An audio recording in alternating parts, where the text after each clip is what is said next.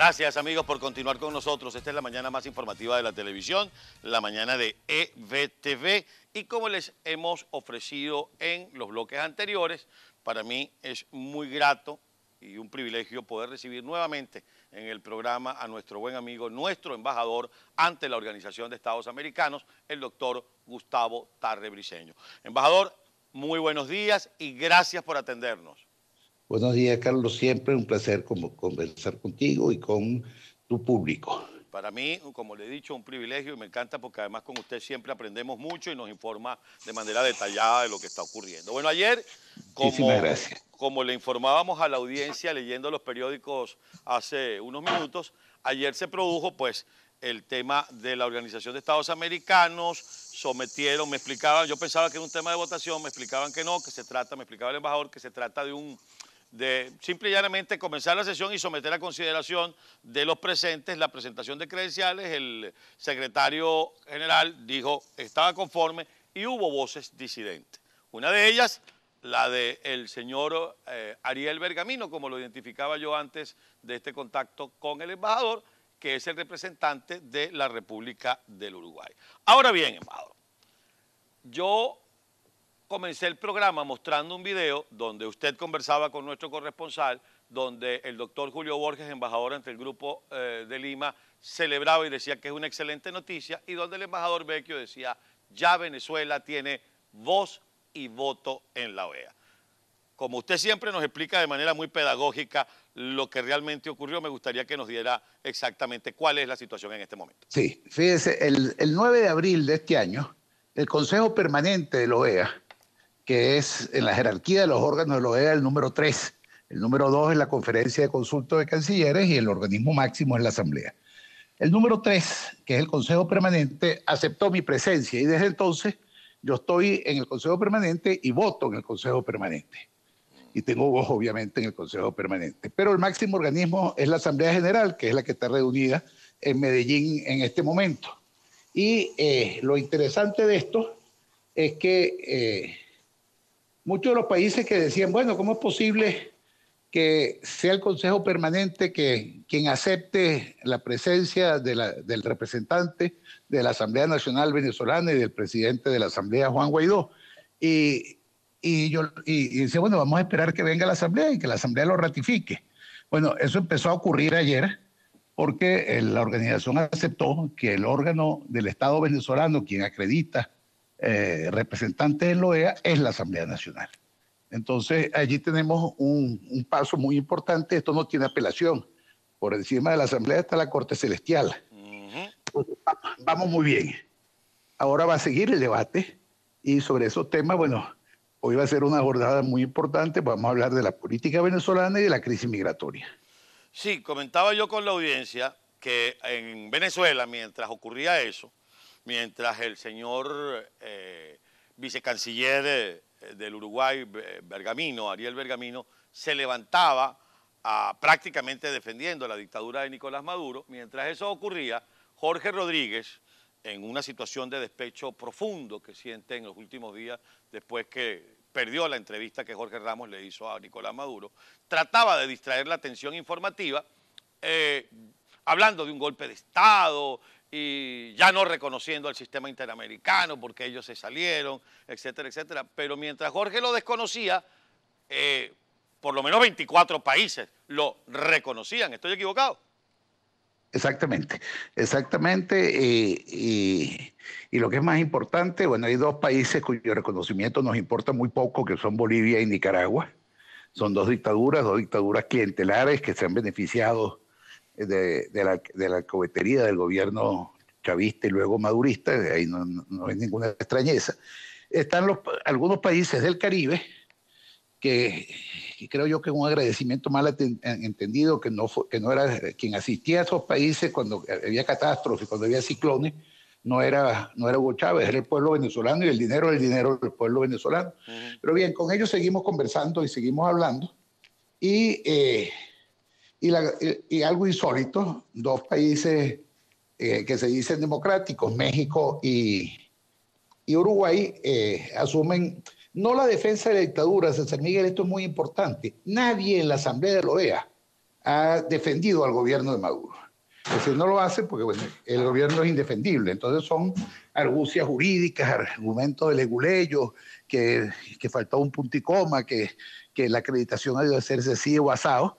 Pero nadie ha dicho, el verdadero gobierno democrático de Venezuela es el de Nicolás Maduro. Nadie ha dicho que Maduro es un éxito económico. Nadie ha dicho que los venezolanos viven bien.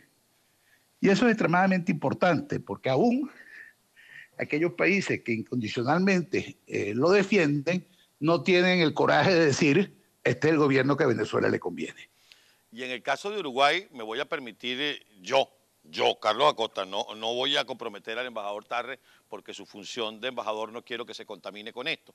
Pero en el caso de Uruguay particularmente a mí me suena más a la pugna interna que puede haber en el Uruguay por la presidencia de la República, a el antagonismo que él pueda tener con el secretario general que todos conocemos viene de Uruguay y cuál es su corriente ideológica, pero además que es un demócrata carta cabal. Lo digo yo, que puede ser que vaya por ahí la cosa con el tema del Uruguay. Ahora bien. Bueno, yo quiero ser, quiero ser mucho menos diplomático que tú. En, Uruguay, en Uruguay hay muchas denuncias de corrupción con, con dinero venezolano. Muchas. Muchas y en niveles muy altos. Y está el caso del Bande. un banco que está en Uruguay, que no tiene depósito, que no tiene nada, pero que todo el mundo en Uruguay dice que ese es dinero de corrupción. Entonces, bueno, quien quiera pensar mal, que piense mal ahora que usted me dio su venia para ser un poco menos diplomático, creo que hay que ponerle el ojo al hijo del presidente. Eh, eh eso dice, sí. eh, embajador Tarde, yo quisiera ahora que entráramos en los temas de fondo, más allá de, estar absolutamente complacido como venezolano, de que usted sea nuestro representante ya ratificado por la Asamblea eh, General. Y es el tema de cómo en las últimas semanas se han venido endureciendo algunas normativas absolutamente legítimas de los países en materia migratoria. Entonces los venezolanos comenzamos a hacer una suerte de, de personajes desplazados en el limbo que no pueden entrar a Chile, pero tampoco a Perú. Entonces están ahí como que en la zona fronteriza y eso está comenzando a pasar. De alguna manera eso cree usted desde su experiencia que obligue al sistema interamericano a ser un poco más duro en la colaboración para el cese de la usurpación, embajador. Fíjate, César Miguel, eso es un problema extremadamente complejo, porque yo creo que lo primero que hay que reconocer es que los países vecinos y no tan vecinos, cuando hablamos de Chile y Argentina, son, no son vecinos, pero están recibiendo un, número muy elevado de migrantes venezolanos. Esos países eh, hasta ahora se lo han hecho con una gran generosidad. Ahora, nadie puede desconocer que la llegada a Colombia de 1.200.000 eh, consumidores nuevos, 1.200.000 personas que quieren acceso al sistema de salud, al sistema educativo, eso le genera a cualquier administración pública un trauma. Y yo creo que eh, el punto de partida es un punto de partida generoso. Hay unas reacciones de temor porque evidentemente ninguna economía está preparada para recibir un flujo migratorio de ese tamaño.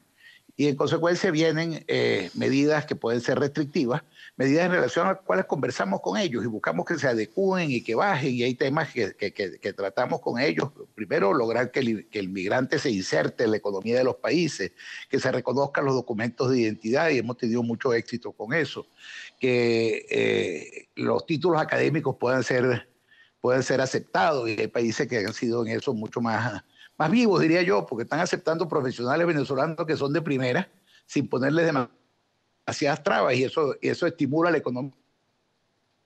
La migración eh, eh, es buena y es mala en, ambos sentidos. Mm. Es decir, genera cargas, pero también trae, trae conocimientos, trae, trae destrezas, trae gente con una inmensa voluntad de trabajo. Y eso estimula las economías. Y bueno, y ese es el proceso que estamos viviendo ahorita, que es un proceso que no es nada fácil, pero sí quiero, quiero decir que los, todos los representantes, la mayoría de los cuales cancilleres que están aquí en Medellín, tienen la mejor buena voluntad, tienen presiones muy grandes, a veces son los gobiernos locales, a veces son campañas electorales que vienen y, algún politiquero quiere eh, apropiarse del, del nicho de una reacción antivenezolana. Mm. Pero todas estas cosas son sociológicamente explicables, son desde el punto de vista anímico intolerables para un venezolano, pero que tenemos que abordarla con una gran objetividad y sobre todo buscando resultados. Embajador, voy a usar de su generosidad, le voy a pedir que me espere dos minutos en línea mientras voy a la pausa y al con regreso. Mucho gusto. Y al regreso quisiera que conversáramos de el tema de la famosa frase todas las opciones están sobre la mesa.